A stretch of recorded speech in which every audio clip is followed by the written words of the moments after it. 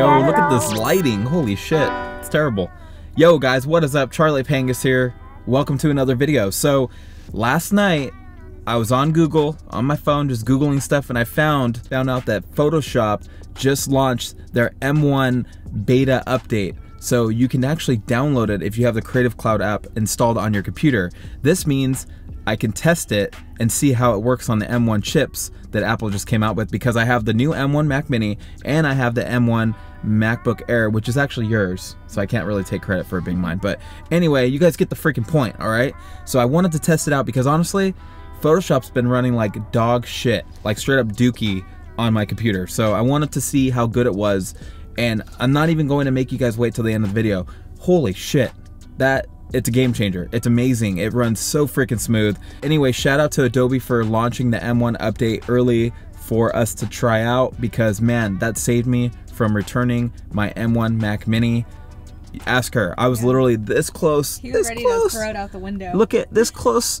Is it focusing? I was that close to returning it. So close. And it was annoying. As a graphic designer, as a content creator, you do not want your computer to lag. You don't have time for that. Like, who the fuck wants to sit on a computer and watch the wheel of death spinning and spinning and spinning and spinning and spinning and then it spins again and then the computer just shuts off on you. That's happened to me. So, anyway, super stoked. Oh, and happy new year, guys. It's awesome. We're in 2021.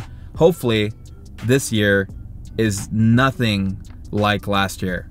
I hope that's I hope this isn't like the evil or twin of 2020. You know what I'm saying? But I have a, I have a feeling it's gonna be a great year. So we purchased a bunch of props at Hobby Lobby because we just shot a rum commercial and I have a video coming out soon going over that. But now we're returning the props. 1000 IQ play, 100%. All right, I'm back at home and in my studio and we're going to make something cool using the new Photoshop M1 update. And of course, we have to start at unsplash.com, find some photo resources, drag those bad boys into Photoshop, and see if we can come up with something cool. So I'm right here looking around, trying to figure out something that kind of catches my eye.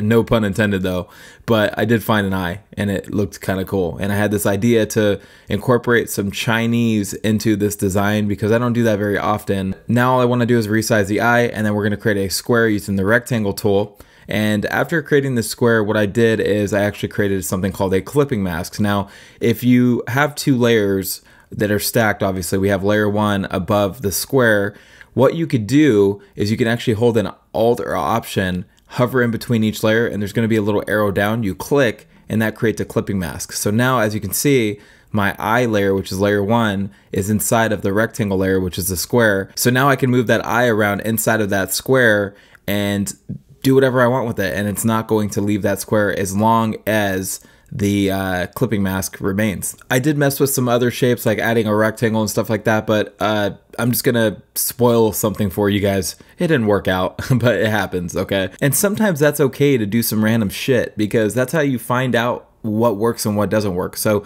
you know, you're gonna see in a second that this clearly didn't work out in my favor, but that's okay because I, I, found a different direction, I guess you could say, that did end up working for me. Now I'm processing the photo just by adding some small adjustments like a brightness and contrast adjustment, desaturating the photo itself. And then what I did is I went up to filter, filter gallery, and I added some different effects, okay? So stacked on top of each other, I have grain, torn edges, and I even have a stamp effect.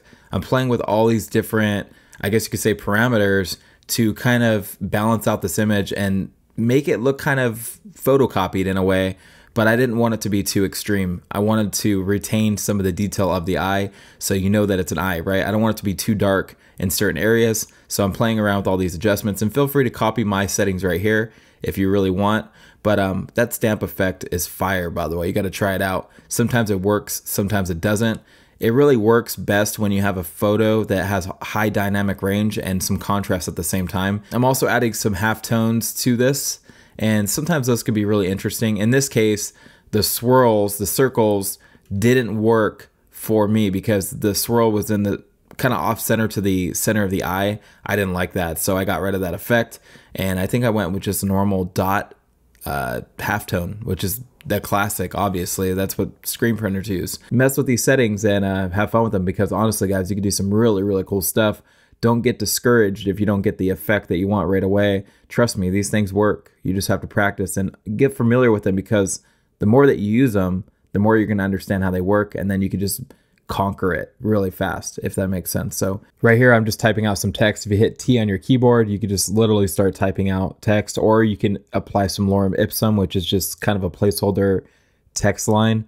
But uh, now I have this Chinese writing, and it's not really saying what I want it to say yet, but I'm just trying to figure out what position I want it in first before figuring out the final name of the brand or whatever this is going to be, right? So, and even figuring out the font that I think looks better. As you can see here, I'm doing a translation for Street Kids and I'm just copying that from Google and pasting it where my text is on the left. And for the bottom, I typed in global brand, got that translation, and then copied it and pasted it at the bottom. Now I'm making two different stamps, one with a mountain and one with just text.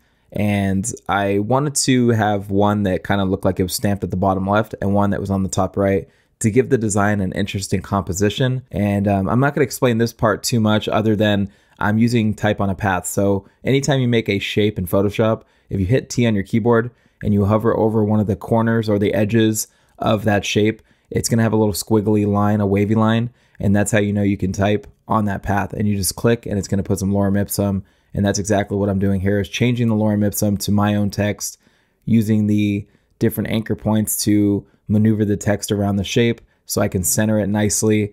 And that's pretty much it. This is just stuff that we go over all the time in my tutorials. So if you are new here, uh, make sure you watch my other tutorials, guys. I go over this stuff a lot. I mean, I've probably talked about the same topic thousands and thousands of times. I'm not even kidding. It's been so much. So anyway, um, pretty standard stuff here. So uh, enjoy this little part. I'm going to speed this up for you, and then we're going to move on to the final touches of the design.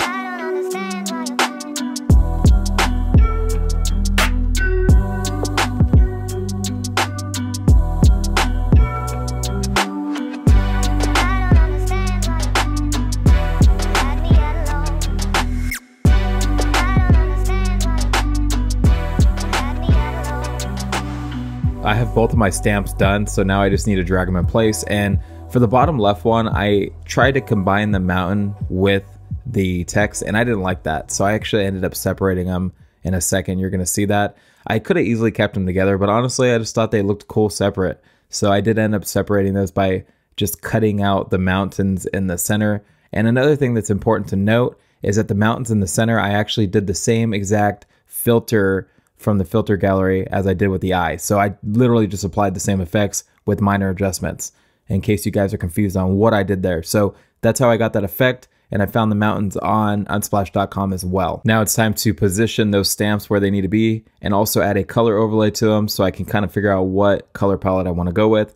And I ended up going with this off red color, um, kind of a magenta e color. So that was that.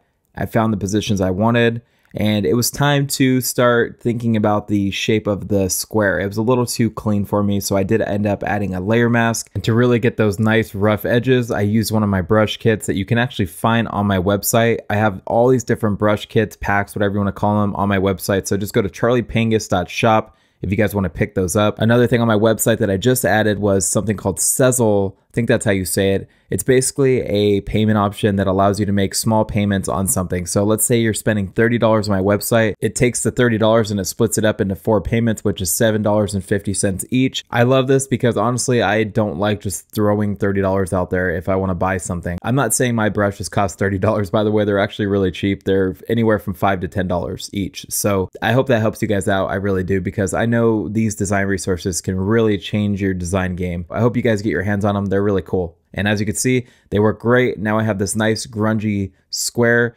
and it made the design look so much better. Another thing that I saw on my website is a vintage wash mock.